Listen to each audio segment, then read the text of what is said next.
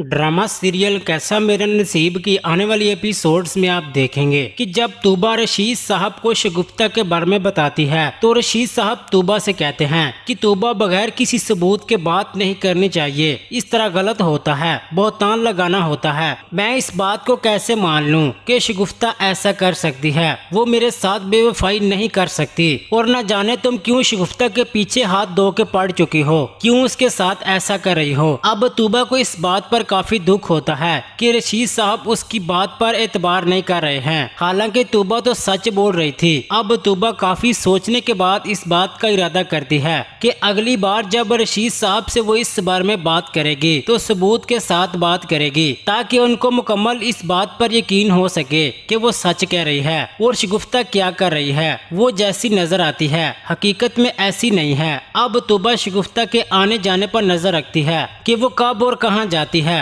और किससे मिलती है, ताकि तूबा को उसे सबूत मिल सके और रशीद को वो शगुफ्ता का असल चेहरा दिखा सके। फिर जब अगली बार शगुफ्ता फराज साहब से मिलने के लिए चली जाती है तो तूबा उसका पीछा करती है और वहाँ तक पहुँच जाती है, जहाँ वो दोनों मिलते हैं। तूबा इन दोनों को एक साथ देख लेती है और वो मोबाइल से इनकी वीडियो और तस्वीर बना लेती है, ताकि वो रशीद साहब को दिखा सके और उनको इस बात पर यकीन हो सके कि शगुफ्ता क्या कर रही है। दूसरी तरफ़ इजहार के पास भी शगुफ्ता की वीडियोस होती है, जिसमें फराज साहब और शगुफ्ता एक साथ होते हैं। जिसकी वजह से इजहार शगुफ्ता को ब्लैकमेल करके आए दिन पैसे माँगता रहता है। अब इस घर में शगुफ्ता का रहना बहुत मुश्किल होता जा रहा है, क्योंकि सब लोगों को उसकी असलियत का अंदाज़ा हो चुका है कि वो क्या कुछ कर रही है। उधर दूसरी तरफ़ अनिला इस बात पर काफ़ी परेशान होती है कि अब न जाने मलाइका इस घर में आकर क्या करेगी और पता नहीं वो कैसी होगी। अगर उसने और सलीम ने मिलकर फिर से मेरे खिलाफ कोई साजिश करने की कोशिश की या फिर से मुझे और अदील को एक दूसरे के साथ बदगुमान करने की कोशिश की तो फिर क्या होगा?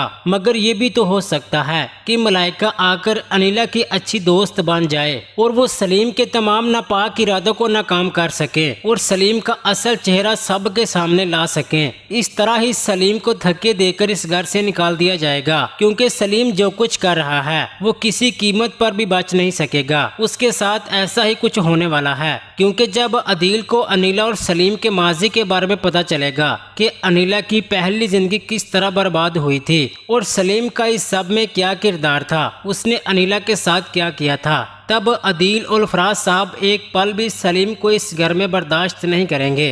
क्योंकि उधर ये भी हो सकता है कि जिस तरह सलीम ने अपने भाई और अपनी माँ की जान ली थी, फिर ये सब कुछ होने के बाद सलीम की गाड़ी का भी एक्सीडेंट हो जाए और इस तरह उसकी डेथ भी हो सकती है, क्योंकि वो पहले ही अपनी माँ और अपने बड़े भाई की जान ले चुका है। यही वजह है कि सलीम के साथ वही सब कुछ हो सकता है जो कुछ उसने दूसरों के साथ किया था और कितनी लोगों की ज़िंदगी बर्बाद करके रख दी थी। दूसरी तरफ़ शगुफ्ता की असलियत का रशीद साहब को पता चल जाएगा, जब तुबा रशीद को सबूत दिखाएगी। तब रशीद साहब को यकीन हो जाएगा कि तुबा सच कह रही है और शगुफ्ता वाकई फराज से मिलती है। फिर हो सकता है कि रशीद साहब गुस्से में आकर शगुफ्ता को छोड़ने का फैसला कर लें और उसे इस घर से निकाल दें, ताकि शगुफ्ता जाकर फराज के साथ शादी कर ले और रशीद साहब उसे छोड़ दें। उधर अब इजहार आमना को भी अच्छा खासा सबक सिखाने वाला है, क्योंकि इजहार ना तो कोई कारोबार और ना ही कोई जॉब करता है। फिर वो कैसे अपने घर के अखराज संभाल सकता है? और इसी लालच की ही वजह से इजहार ने तो आमना के साथ शादी की थी, ताकि वो आमना के साथ रहकर ऐश की ज़िंदगी गुजार सके। और आमना के पास जो कुछ भी है, वो इजहार हासिल कर सके।